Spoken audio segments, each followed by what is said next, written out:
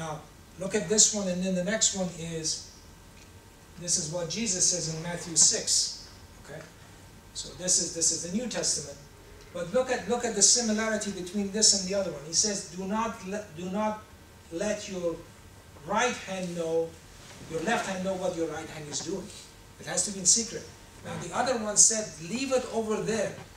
You you leave it there. The person who picks it up doesn't know who gave it. The person the person who is who is given it doesn't know who's picking it up. You see." That's complete lack of prejudice on the part of the person who's given it. Okay? Now, now let's look at the, the last one. The last one is the Quran, 2177. It says that righteousness is not turning your faces towards the east or the west. It's not just prayers. But says, on the contrary, righteous are those who believe in God, the last day, the angels, the scripture, and the prophets, and they give their money in spite of loving it to the fatherless, to the relatives, to the fatherless, the poor, the refugees, the beggars, and to free the slaves. Okay. So you see the similarity between these? Okay, I mean it's absolutely amazing. But but I'm just I'm just trying to say that that we have to to to broaden our horizon. We have to listen to the other side. And so so it's it's very it's very clear from these verses that they're all coming from the same place. They're coming from God. This is what God is advocating. Okay? So let me just conclude here. According to the mathematics introduced in these talks, the Quran and the scriptures in general have always existed beyond the dimension of physical universe in which we live in. Ultimate mathematics took the form of a book called the Quran nearly 1400 solar years ago. Now, as I mentioned, okay, the idea about this is that not only it confirms the history which is narrated in the Quran, okay, the history of Jesus, the history of Moses, the history of Pharaoh. It also confirms what happened in the past. So it's, it's incumbent upon us, okay, to believe in all scriptures.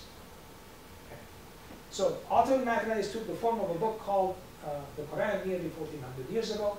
It can therefore be concluded that the Quran is a literal embodiment of the ultimate mathematics it can only be authored by God. So, let me just read this one because the unification of message that God has sent. Okay? It says, He decreed for you the same religion that He decreed for Noah, and what we inspired to you is the same as what we, decreed to Abraham, Moses, and Jesus. You shall uphold this religion and do not be divided. Your call is, is heavy to bear for those who set up partners for God.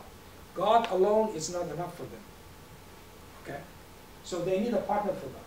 God chooses for himself whomever he wills and guides to himself those who repent.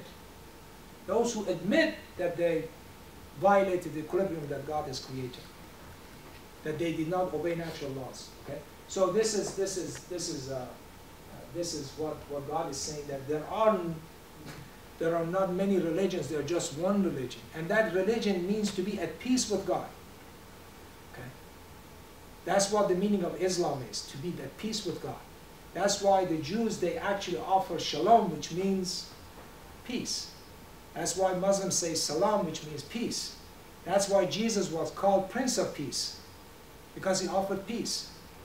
Okay? So these are, these are very interesting things that we have to look into, okay, before we jump to conclusion and, and as I said, go with ignorance instead of the facts that are available. And uh, let me also mention this that our responsibility is much higher because, because uh, at this age, where literally information is at our fingertip, okay, that we can actually go to Google, for example, and Google some subject, like all of these stuff that I told you, okay, these tables and stuff, you can actually get them from, from uh, uh, all these Wikipedia or, or Wolfram Math or, or whatever, okay, but you can get this information, okay, it's not hidden, okay.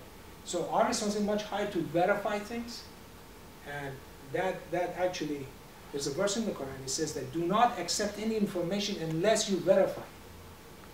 So it's responsible because God has given us the, the brain, the eyesight, and the, the hearing, and we are responsible to use our senses. So everything has to be has to be um, uh, done in that in that way. Okay. All right. Well, thank you very much, and uh, I conclude it here.